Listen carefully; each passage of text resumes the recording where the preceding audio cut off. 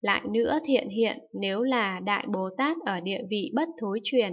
nghe chánh pháp mà chư Như Lai ứng chánh đẳng giác đã thuyết, không nghi không hoặc nghe rồi thọ trì, không bao giờ quên cho đến khi đạt quả vị giác ngộ cao tột. Vì sao? Vì Bồ Tát ấy đã khéo chứng đắc Đà La Ni.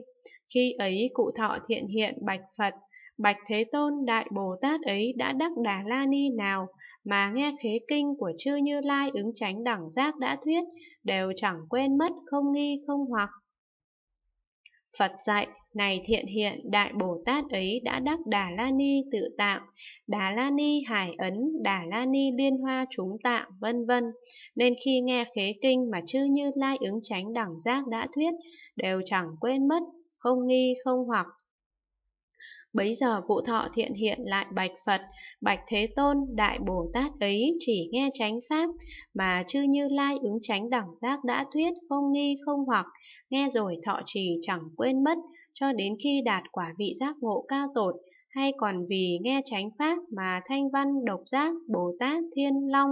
dược xoa A Tố Lạc, yết lộ trà khẩn nại lạc, Mạc Hô Lạc Già, Nhân Phi Nhân vân vân đã nói, cũng có thể đối với pháp ấy chẳng nghi chẳng hoặc, nghe rồi thọ trì không bao giờ quên mất, cho đến khi chứng đắc quả vị đại giác ngộ trăng.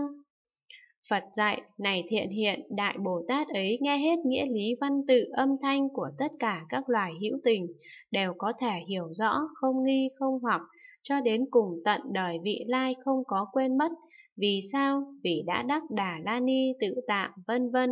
ghi giữ lời nói khiến chẳng quên mất. Này thiện hiện, nếu thành tựu các hành trạng tướng như thế, thì nên biết đó là Đại Bồ Tát bất thối truyền. Hết quyển thứ 327